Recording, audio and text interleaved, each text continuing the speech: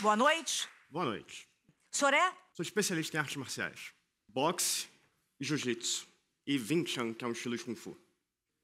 Wing Chun, senhor. O senhor inventou Wing uma luta. Wing Chun. Wing Chun. Isso. É fã do Jackie Chan? Não, do Bruce Lee. Qual é o teu peso? Como é que é o nome daqueles Leve. pesos? Peso leve. Isso. Tem abaixo de você alguma coisa? Tenho pena, mosca. Porra, mosca é muito escroto, né? É muito escroto. Você é peso mosca, Mas você vale é peso dengue. Hã? Mas vale a pena. Vale a pena ter peso pequeno? É, porque tem menos luta pra fazer. Porque morre na primeira, né?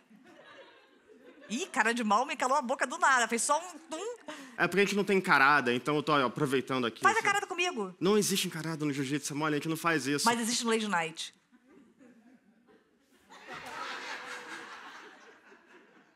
Não, mas aí é tirulipa do nada. Sendo o senhor um mestre das artes marciais, me tira uma dúvida. Foi golpe? Você na aula mostra como se defender um ataque de faca, mas e se te atacarem com uma colher? O que fazer? Não tem isso? Ah, a pessoa vem com uma faca, mas e se for um extintor, uma colher, uma rosa? Olha, eu acho que pra defesa desse tipo de coisa é sempre a mesma. Sai correndo. Assim, Mas não tem esse negócio de a pessoa vem com a faca por cima? Eu sei fazer, por exemplo, você vem, se você vier, vem me atacar com uma faca americana. Tem outro americana. golpe, outro golpe. Você pode até pra uma Kimura, você pode rodar minha mão pro outro lado, entrar numa Kimura. Posso, mas eu giro junto que eu sou mais leve que você. Mas outro golpe, você, a pessoa vem com as duas mãos pra cima, faz assim, ó. Eu morro teu saco. Aí não tem golpe teu, Eu, concorda? eu me considero vencido. É. Outro golpe. Aqui, rodei teus ovos, chupei, cuspi, peguei no ar e te fiz um presente. E aí eu ganho qualquer luta. Quem geme e grunhe mais, artista marcial ou ator pornô? Artista marcial. Como é que vocês fazem? Vou, vou, te, vou simular soco, você, você reage, tá? Tá. Um. Dois. Ah, tá. MMA é só um cursinho técnico para enganar em várias lutas, sem se especializar em nenhuma, comente. Atualmente é. Querido, você vai apanhar amanhã às sete e meia. Faz parte. Tem quantos anos? 39. Nossa, parece ter mais. Sacanagem. Tem aquela pessoa que põe o tijolo e faz... E ele faz tum. Sem tocar nele. Tijolo imaginário. Quebrou. Você se cagou, não cagou? Quebrou. Era um pouquinho? Quebrou. Também. A gente percebeu aqui. Quando a briga de bêbado será reconhecida como arte marcial? Já é. O que, que não vale na, na, na luta aqui do Vink Chao que você inventou, que a gente não é... O que por não tempo? vale? É. Na verdade, vale tudo. É, é meio esquisito, assim, mas é, é Vale muito xingar a mãe? dedo no aquela olho. porra? Vale xingar a mãe, dedo no olho. Soprar o cu do cara. Pode, pode. Pode soprar o cu do cara? Pode, é É que isso complicado. vale a pena, né? Ganhar uma luta e enfiar a boca num cu de um lutador? Já, olha, existe uma história sobre isso, inclusive. História de cu de lutador? Favor. Existe. Vamos ver. Vai. Final do Campeonato Carioca de 2017, tô eu Flamengo lutando. Vasco, 2x7 com a Marcelinho Carioca. Tô eu lutando, não sei o que, eu só ouço minha irmã no fundo que tá filmando assim, cheira a bunda do meu irmão. Isso aconteceu. Cheira a bunda do meu irmão. Exatamente. Já peidaram na tua cara? Já. Cara, já peidaram na minha também? Eu fazia jiu-jitsu, uma, uma menina sentou na minha cara e eu, eu comi como um almoço, eu não tinha comido nada. Engoli um pão de Foi uma refeição inteira. Se a luta é livre, por que elas têm regras? Uma boa pergunta, eu não faço a menor ideia. Quais são as regras do jiu-jitsu, por exemplo? Não pode ganhar. Você não pode socar. Não existem golpes contundentes. Mas você pode quebrar o braço dele, aquele meteoro, meteorauro, Pode, sei lá, pode, tá? acontece. Uma vez eu lembro que ele tava com. O braço dele já tinha pego o Uber, tava em casa já, comendo, e ele tava. Inclusive é uma expressão, a gente fala que a gente leva os membros das pessoas pra casa depois do treino. Você é um pouco mal? Não, nem um pouco. Tem filhos? Não. É mal. Se vale tudo, eu posso gritar: Eu venci, eu venci! E decidir a luta no carisma. Não. Mas por que vocês treinam de kimono se na rua ninguém tá de kimono? Ninguém vai de briga na rua e fala: Peraí, um minutinho, põe o kimono dele. Ah, mas já viu como é que o kimono se parece com um terno? Ou um casaco? Alguma coisa assim? Ah, mas só bate em engenheiro, funciona. executivo. Só dá pra, só dá pra bater no inverno. Chegou no verão já era. E regata? Você não merece um, dar um tapa na cara desse filho da puta que tá usando regata até hoje? Você usa regata? Ah, meu Deus, ele usa regata. Eles não lavam aquela porra, não lavam? Tem gente que não. Porque mesmo antes da pandemia, entrava lutador e a gente colocava máscara. Então, você, você sabe que a galera vai, abre assim, coloca sua cara assim nos peitos da pessoa com o casaco. Com, Nunca chupou? Sabe que sacanagem? O cara tá batendo, você faz. Chupa um mamilão dele? Não, não, é meio estranho, né? Vai, vai vir Tem o tensão no cabelo. mamilo, lutador? Você tem tensão no mamilo? Não, Nenhum. nem. Você fica chupando meia hora teu mamilo. Dou Doutor, meu primo judoca foi testar o golpe mata-leão em um leão na África e nunca mais voltou. Sabe me dizer o que pode ter acontecido? Comente. Ele, ele fez errado. Olha só, se durante a entrevista quiser desistir, é só dar três, três tapinhas. E a pessoa já fingiu que não ouviu três tapinhas? Não, nunca. É obrigatório respeitar. Em teoria é, tem gente que não respeita. Quem, hein? Eu não posso falar nomes, Ah, assim. Tem querido, gente você não profissional dá, que. meu amor, pelo amor de Deus. Um nome só de um lutador. Não, não, não dá pra Anderson falar a Silva? respeito, Anderson assim. Silva? Anderson. Mas é no diminutivo. Anderson. Você vai sacudinho? Quando um lutador desiste, deve bater três vezes. O senhor bate para os outros com frequência ou batem mais para você? Então, é aquele negócio, porque é um drama. Ou você bate, ou você pode bater oralmente também. É- é- É boqueteiro! É, cara. Mas agora, sério, quanta- quantas você bate por dia? Algumas. Todo dia? Todo dia. Até quando não tem treino. Não Impressionante. danifica a cabeça do pau, não? Ou tá tatame? não, será que a mulher fica um pouco, não? Não. Porque fica esfregando no tatame direto, né? Não, não, não, não, não, às vezes a erosão corrói, diminui, às vezes 3 a 5 centímetros. acho que não, acho que não. Já tentou dar um KO e deu o KO? Não. Numa luta greco-romana, vence quem dá o beijo grego primeiro, comente. Sim, isso é um fato. O senhor é bom de jab Sou. e blow jab? Depende. Chave de ovos, comente. Acontece. Já Complicado. tomou uma chave de ovos? Já, já inverteram a ordem do, do teu saco? Já voltou com o saco direito no esquerdo, já, esquerdo no já direito? foi terrível. É mesmo, doutor. É, franceses. É normal durante uma luta ter uma ereção ou meu marido não está praticando luta com seus colegas de trabalho, comente? Não, não é comum. Ter uma ereção? Nunca teve uma ereção? Não numa Sem luta. querer, involuntário. Às vezes vocês não acordam e é xixi de manhã, quando vai ter, ter uma É, ereção? sim, mas eu acho que existe um, um, um mecanismo aí pra esse xixi acontecer, pra essa ereção acontecer. Quando a gente tá Não apertado. tem nenhum lutador que te dá tesão, doutor? Não. Uma sunguinha, Com a sunguinha certa. esfregando ali, sua irmã falando chupa o cu dele, vamos ver. Com a sunguinha certa, uma sunguinha mais curtinha assim, mais cavadinha. Anos e o senhor, 80. o senhor conhece o golpe com o cu do bambu? Quem vai mostrar agora? Mil reais se você mostrar o cu. Eu mostro por 10 reais, tá? A cabeçada no céu da boca pode levar a nocaute? Mas com todo respeito, doutor, como eu escapo de uma chave de pica? A gente não escapa, a gente vai e casa 8 de outubro. Não tem como de escapar de chave de 2022. pica. Não, não. Galera, amigão, aqui câmera, pode comer o cu dele. Não, brincadeira. Tão importante quanto saber bater é saber apanhar. Qual o jeito certo de levar um chute nos ovos? Com dor intensa. Aí você faz um algodão quando pega nos teus... Não. Não, né? Perde os ovos, mas não perde dignidade. Não é isso, nunca, doutorzão? nunca, nunca. É verdade que quem pratica muita luta fica com a chamada orelha de couve-flor? Então me mostre sua berinjela para ver se o resultado é o mesmo. Aparentemente não são todas as orelhas que deformam. Eu tenho uma orelha pequenininha, tá vendo? Ai, gente, olha a coisa mais linda! Ui, mais linda que tem o meu doutor lutador, ele é minha vida! Que é o amor da vida da mamãe, que é o minha... Sou eu. O que que você faz? Tá achando minhas perguntas sem grace? E quando o Chaves torce o braço do Kiko e dá uma chave de chaves? E minha samambaia me chamou para a porrada. O senhor acha que o melhor a fazer é arregar? E quando vemos cachorros de madame praticando o shiu shitsu? Fofo, você gosta, né? Faz pra mim, agora tudo é fofinho, tá? Eu vou fazer uma pergunta, você tem que fazer assim. Sou uma flor, é, Tá? Por favor, tá? Um lutador com equipamento de áudio antigo usa kimono. Usa kimono. Usa kimono. Agora você vai fazer assim, ó. É. Lá na fazendinha. Pá!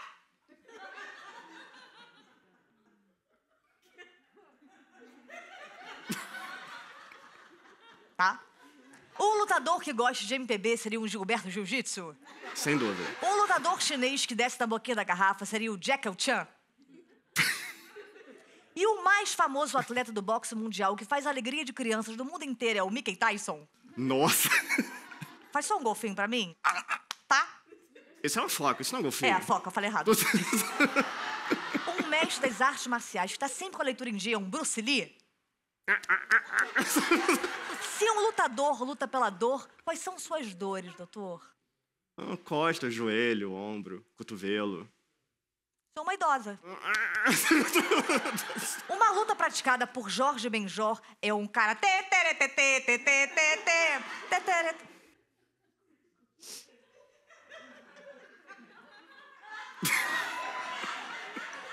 Uma dúvida. Lutador mineiro faz Muay Thai? Faz. E figuras enormes feitas em plantações por extraterrestres são artes marcianas. Mas você tá bem agora ou taekwondo? Sempre com dor. Uma luta que ensina defesa pessoal e desenhos em estilo japonês é um Krav Maga. Lutador alérgico sempre perde pra capoeira. E a modalidade mais generosa de lutas é o ajudô. Nossa. Então, então vai, golpe, tô aqui. O que, que você faria? Eu não posso ficar nessa posição. O que, que você faria aqui? Nada, você não tá oferecendo perigo nenhum, você está assim? Eu tô com dois fuzis nos meus seios. Atirei na tua cara já. Mas ah, o vidro tá protegendo aqui. Os fuzis, porra, fuzil pegar carro blindado vai pegar carilho. Por que, que eu vou sair daqui, de trás do vidro, me protegendo? Senhor, eu tô falando de uma situação hipotética, querido. de Deus. Tô na rua, tum, caminhando, vem atravessando, tum, tum, tum. E aí eu vou te atacar, tô com uma. Tô com uma, uma com gás aqui, ó. Não, água com gás não. Eu tô com uma, com uma, uma arma aqui. Uma água com um gás? cacetete, cacetete. Vem te atacar aqui, como é que você se defende? Vou entrar primeiro aí, antes do, do alcance, e Aí, te dar um abraço, falar e a uma gente coisinha no se seu ouvido. ah. Exatamente, depois te derrubar. Depois de derrubar. Me derrubou. Teus ovos já estão aqui na minha cara. Prendendo minha respiração. Esses bagos enormes teus, que dá pra ver aqui de baixo que eu senti com o meu pé. Prendeu minha respiração. Como é que eu saio daqui? Não tem isso, não. Só fazer o golpe do chazinho. você que é- vai querer sair. Isso que eu tô te falando, não quero. o senhor gosta de dar vazare nas lutas? Sempre que possível. Então pode vazar daqui. Muito obrigada, senhor. Boa noite. Boníssima noite, Tatá. Não, boníssima. Tá com quanto? 70? Boníssima madrugada, senhora do Leal. O senhor é? Eu sou hipnólogo. Só? É. Não, não vai fazer um truque, tirar um, um, um pombo? É, dá, dá. Faça. É, não dá. Mas dá pra fazer o quê? Já! Fecha os olhos. Obrigado. É isso. Rápido, escolhe uma mão. Aquela. Ah! Eu também faço hipnose, senhor. O senhor é hipnólogo, correto? Você imaginou que um dia ganharia vida exibindo e balançando seu penduricalho pros outros com a mente? É, não, nunca pensei nisso. Você usa aquelas, é, aquelas... Não, usa a mão. Os dedos mesmo. Ah, me liga aqui das dois. Me liga às sete mesmo uma terça. Você tá falando do quê? É, dos dedos. Ah, não. Isso seria depois a gente conversa. Como ter certeza que o senhor está realmente hipnotizando mesmo ou as pessoas estão fingindo que estão hipnotizadas para o senhor não ficar chateado, não ficar boladão? Não tem a pessoa que finge? E existem várias sintomatologias no corpo. O, a- o coração pulsa mais forte no pescoço, os olhos tremem. Aí é dengue, né? É, é. Calafrio, falta de apetite. É, mãos frias, por exemplo. Mas aí então é ruim, né? Hipnotizei como você tá doente pra caralho. Já hipnotizou seu chefe pra ganhar um aumento? Dá pra fazer isso? Não, porque eu sou meu próprio chefe. Hum, Não, toma. Já ganhou uma discussão apelando pra hipnose? É... Vamos discutir aqui. Chega! Eu tô cansada e satisfeita dessas coisas que você faz. Chega, não quero. Desculpa. Caralho, você conseguiu. É. É que eu não ouvi. Fez a graça agora. Hipnose é um boa noite, Cinderela com grife? Comente. E o que me garante que você não hipnotizou as pessoas para me recomendar o seu trabalho? Comente novamente, gente. É, não tem como comprovar isso. Ué, aí como é que faz? E aí é. Aí eu que me foda. não tem como comprovar. Se fode aí. É o famoso se fode aí. Dorme, dorme. Acorda. Você é um mexicano. Arriba, arriba! Nem precisava, você sabe, né? Faz Ah, não, comigo, desculpa. faz um negócio comigo aqui. De hipnose. É. Ahn, Mas depois volta ao normal, né? Não, claro. você Porque eu não era assim. Eu era modelo, fizeram uma hipnose comigo, me escrotizaram e por isso eu tô. É, enfim. É, Tatá, É, no fundo é um pouquinho babaca. É, tá legal. Vai. observa sua mão direita. Teve um dia na sua vida em que você colocou a mão num balde de gelo e a mão ficou congelada quando você tirou? Não, porque eu não sou idiota, eu vou colocar no molde pra ter. Cheguei em casa, hum, gelo. Não. Já. Não, pegar um- uma água no geladeiro, no freezer, Água eu já peguei sim, não vou negar não. você pode experimentar de alguma forma, tocar na sua mão direita e você não vai sentir incômodo. E na mão esquerda você vai sentir. Experimenta. Ai! Doeu pra caralho? É, é, deu errado. Ah, tá bom. É, foi isso. Meia hora. Ah, me fudi. Hipnotizar o mundo inteiro para ver o meu nariz menor é possível? Se você vira o seu nariz, é possível. O mundo inteiro vai continuar vendo a verdade. Fraude! Isso era uma fraude!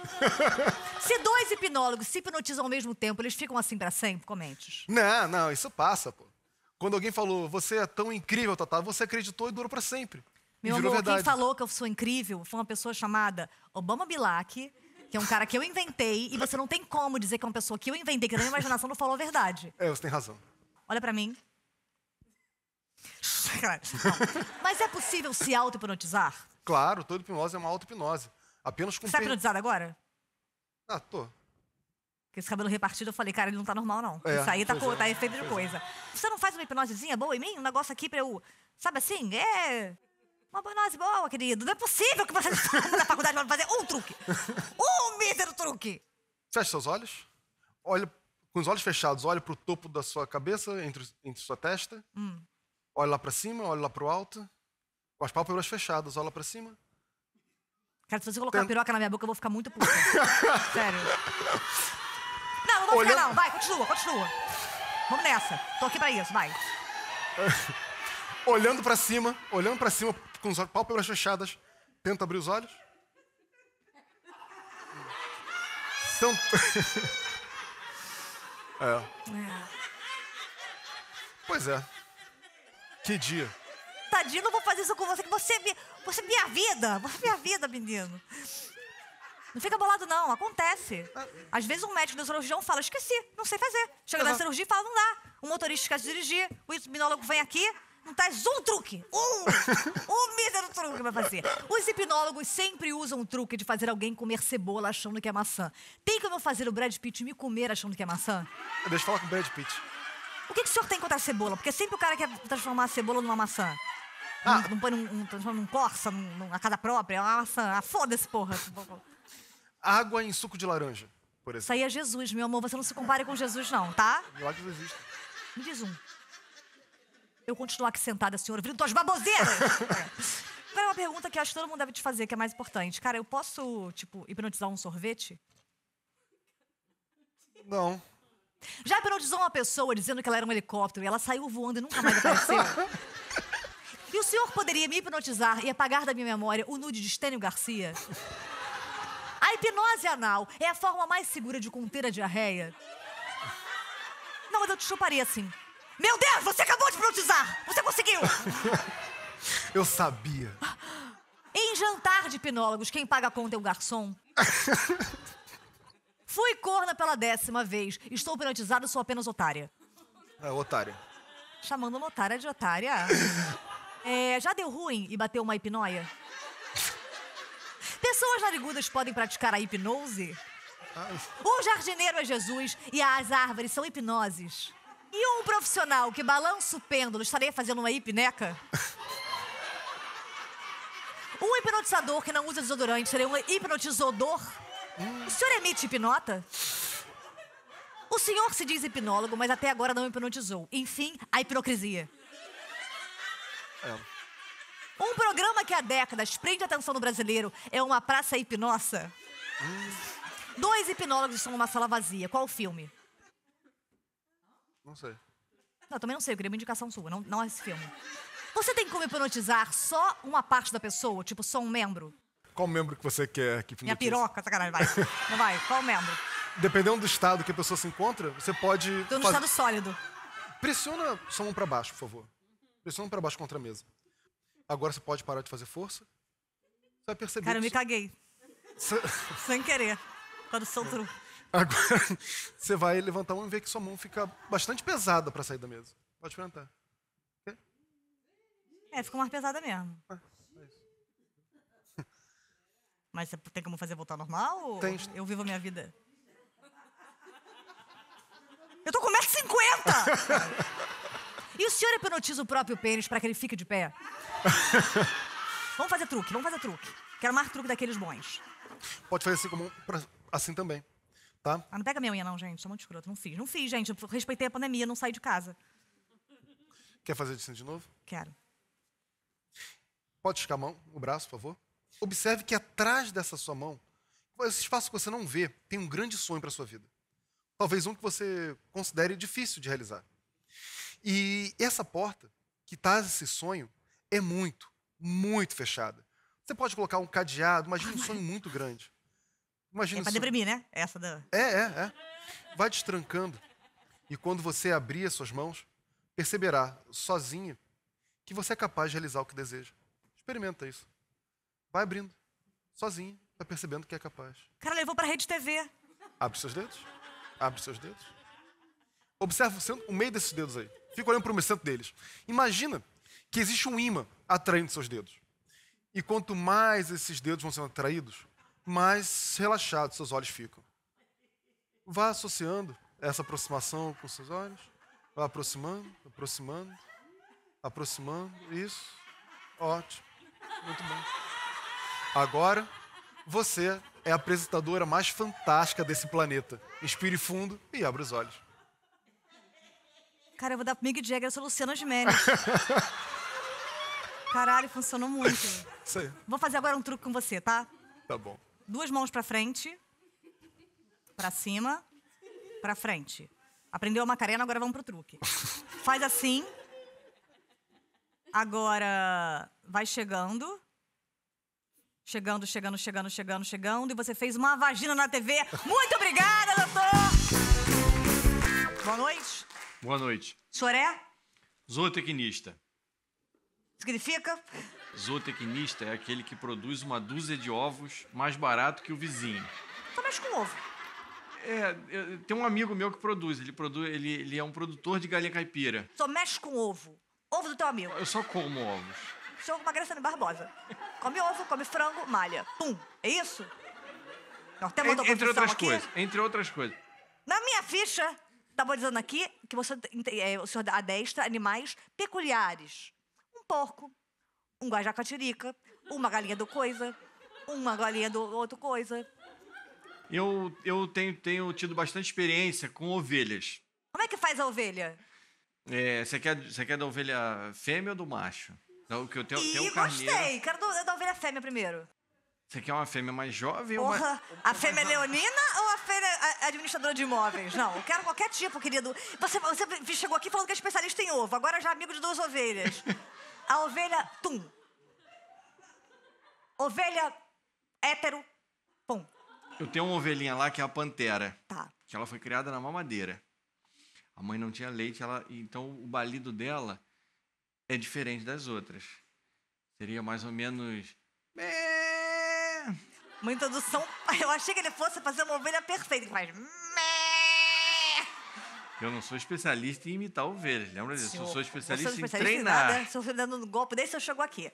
A sua especialista em imitar ovelha. A outra ovelha, o macho. Deixa eu ver a diferença. Vamos ver se realmente funcionou aqui. 10 minutos de papo pra essa ovelha.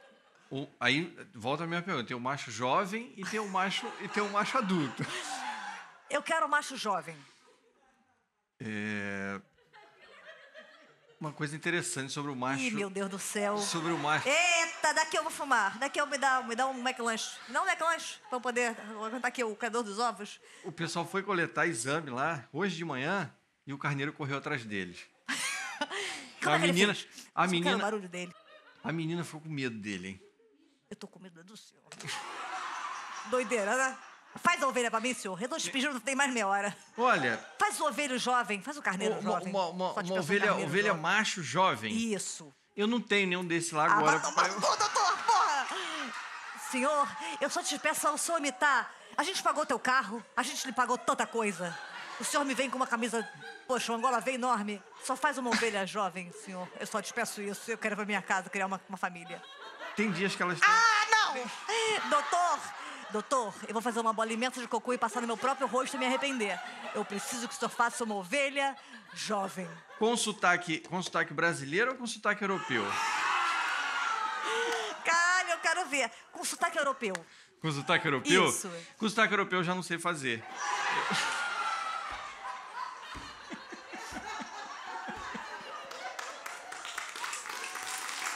Doutor, eu vou pôr meus dois peitos pra fora na tua cara. Eu comecei as perguntas, cara, você me enlouquece. Ovelha brasileira macho jovem. Tum. Você tem um copinho d'água? Porque... Cara, eu vou parir um ovo pelo meu cu. Eu só quero que o senhor me apresente essa ovelha. Ovelha. Eu faço uma ovelha. Como é que seria se você Peraí, você quer parisse ovelha? a ovelha... Não, Ah. parisse o ovo, como é que você falou agora? Parou, Se eu parisse uma ovo. ovelha pelo cu? É, como é que seria, mais ou menos? Agora eu quero que você. O senhor. Eu quero o senhor fazendo um. parindo um elefante pelo cu. E esse barulho... Eu parei uma ovelha. Pare um elefante. Esse barulho você Eu tá enganada. Esse barulho é o barulho... O senhor não conhece meu cu? É o... Meu cu reage a ovelha de uma maneira que o senhor não reage, meu amor. Posso rezar um Pai Nosso? Por favor. O senhor é adestrador de animais, correto? Aham. Como é que você adestra uma pulga? E como Uma- é que eu vou saber se a pulga tá fazendo o que eu tô pedindo pra ela fazer? Se não dá pra enxergar a pulga. Eu treinei uma pulga. Isso é o quê? Isso é. Aquele. É êxtase. Não, sério mesmo. É, a gente se daria bem, não se daria, não? A gente já se deu bem. Você estudou em que escola? Foi de I Love Paraisópolis. A gente se conheceu lá? Você já esqueceu daqueles nossos momentos? Peraí, doutor, eu já tô. Eu já tô traumatizada com um monte de coisa. Eu já chupei teu pau? Ah, peraí, peraí. Já, caralho, lembrei de você. O senhor que é responsável pelos bichos que vem aqui na Globo? Ah, tem, tem um macaco teu que já me deu um tapa na cara. Eu juro. O difícil de adestrar um cavalo que ele caga e anda. Tem como se ensinar uma baleia a nadar, golfinho? Eu uma vez treinei uma baleia que tava morrendo afogada. O senhor sabe ensinar política pra gado? Nunca fiz. Mas já fizeram, né? O senhor adestra vacas? Você, Tatá, tá bom. Mas pode adestrar uma prima minha? Quando vocês soltam aquelas pombas da paz, elas vão pra onde? Isso não te preocupa? É, paz. Ela foi pro inferno. Pra onde é que ela foi, essa pomba? Ultimamente a gente tem colocado um Waze pra cada uma delas. Então elas voam cada um pra aquele destino que a gente colocar ali. Vai certinho. Quem te mandou aqui?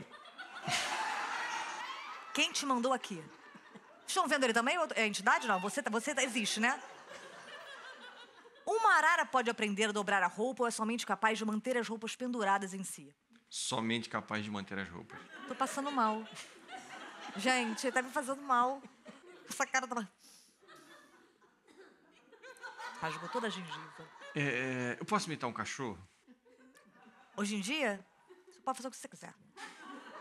Você já, já acabou comigo aqui? Vai. Eu tenho um cachorrinho que ele late com som e sem som.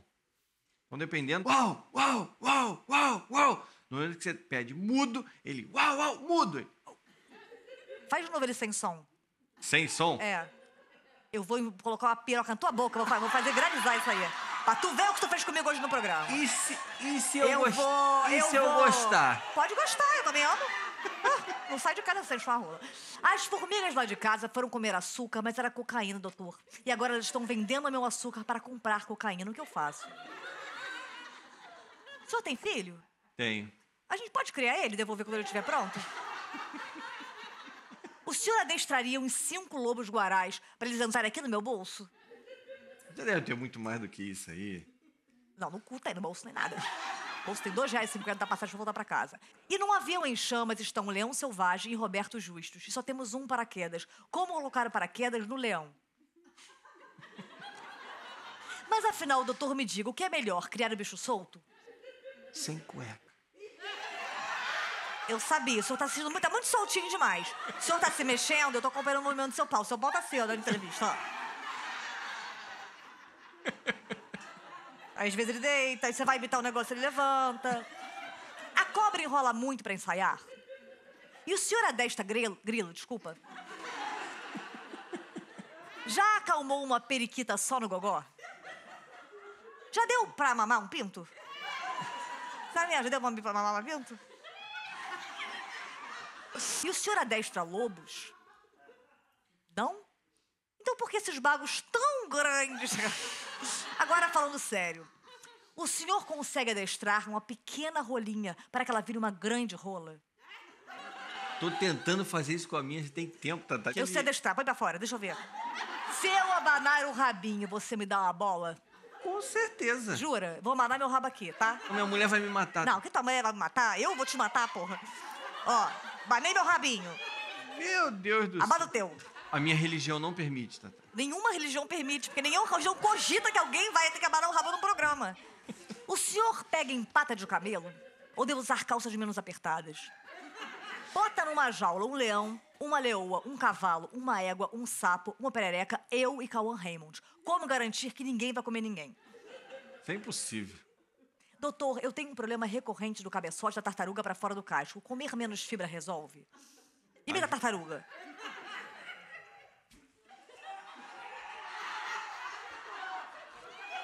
Gostei. Ovelha, vai. Parindo, Ah, não! Doutor, elas ficam comendo o dia tá todo. bom. Então, carneiro, Ele também come o dia tá todo. bom. Um touro. O touro come muito, né? O peixe piranha. Aí já tô aqui com o normal. Opa! Aí já sou eu da 3x4, no passaporte. Vaca. Eu não vim preparado pra isso, né, Tata? Ah, vim você não preparado. veio preparada pra nada. Você veio para me fuder só. Quando você. Quando Tu você. veio preparada assim, vou sacanear aquela puta, vai. Gatinha. Coçou o saco? Ó, Coçou o saco na entrevista? é a pulga. Tu pegou só o dedão e fez assim, ó, na bolinha, na, na pelezinha do saco, pra gente ver. Você tá dando saudade do Fiuk. Rafael Portugal tem o mesmo jeitinho do senhor, cara. Que dia é hoje, gente? Eu quero, eu quero guardar esse dia. Todo dia desse mesmo ano, do ano que vem, eu vou ficar em casa. Imita uma lesma. Eu treinei uma lesma. O senhor se incomoda se eu continuar uma história e eu vou indo? E aí eu dizia pra ela, fica. Ela ficava ali um tempão. E de- deu certo.